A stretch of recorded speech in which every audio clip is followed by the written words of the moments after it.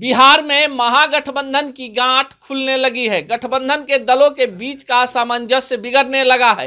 ये हम नहीं कह रहे, ये गठबंधन के दलों के बीच चल रही उठापटक बता रही है।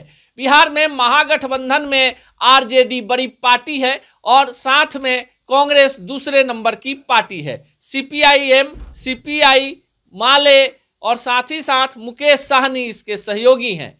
बिहार में मिशन 2025 को लेकर तेजस्वी यादव अपनी यात्रा के दूसरे चरण में चंपारण के मतदाताओं की नब्ज टटोलने वाले हैं। प्रथम चरण में 9 सितंबर से लेकर 16 सितंबर तक तेजस्वी ने समस्तीपुर, दरभंगा, मधुबनी और मुजफ्फरपुर की नब्ज टटोल ली है।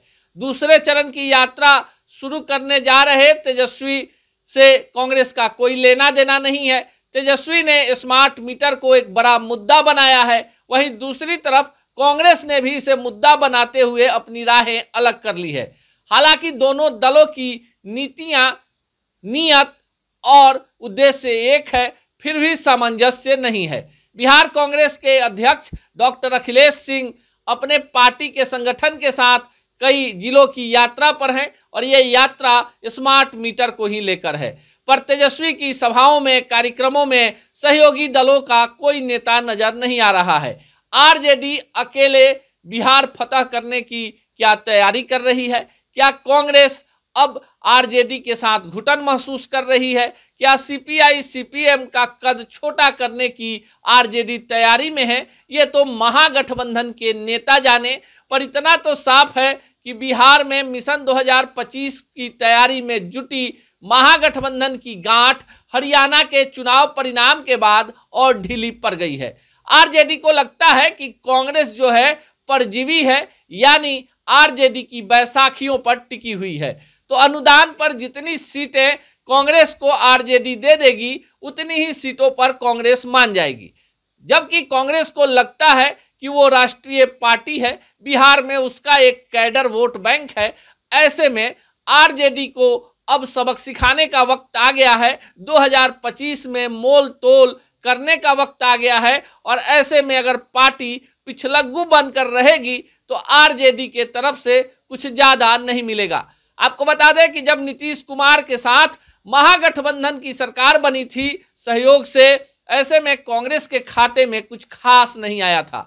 कांग्रेस के कई दिग्गज नेता मंत्री बनने के लिए तैयारी में थे, पर मंत्री किसे बनाया जाए, ये आरजेडी सुप्रीमो लालू प्रसाद यादव ने तय किया। लोकसभा चुनाव 2024 में भी कांग्रेस के कई बड़े नेताओं की लालू ने छुट्टी कर दी। इसमें सबसे ज़्यादा चर्चा में पप्पू यादव का मामला आया था।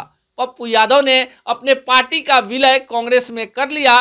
बावजूद इसके, लालू के जिद के कारण कांग्रेस ने यहाँ से उन्हें उम्मीदवार नहीं बनाया। हालाँकि बाद में निर्दलीय प्रत्याशी के तौर पर पप्पू यादव पूर्णिया से चुनाव जीत गए। उनकी पत्नी रंजीता रंजन छत्तीसगढ़ से कांग्रेस की ही राज्यसभा की सदस्य हैं, पर कांग्रेस चाहकर भी पप्पू यादव के लिए कुछ नहीं कर पाई। पूर्व राज्यपाल और बिहार के पूर्व मुख्यमंत्री के पूर्व सांसद पुत्र निखिल कुमार सिंह को भी लालू ने औरंगाबाद से चुनाव लड़ने का मौका नहीं दिया और यहाँ से नए चेहरे अभय कुशवाहा को लालू ने सामाजिक समीकरण के नए समीकरण के तहत चुनाव लड़वा दिया। हालाँकि अभय कुशवाहा चुनाव जीत गए, पर निखिल कुमार के बहाने कांग्रेस को ज़रूर ये बड़ा सबक लालू ने दिया कि बिहार में तो वही होगा जो आरजेडी चाहेगी। अब ऐसे में स्मार्ट मीटर के बहाने कांग्रेस और आरजेडी की राहें अलग हो गई हैं। तेजस्वी अपनी यात्रा में अपनी डफली अपने राग में लगे हैं। तेजस्वी की यात्रा और बैठकों में महागठबंधन के नेताओं को निमंत्रण नहीं मिलता है।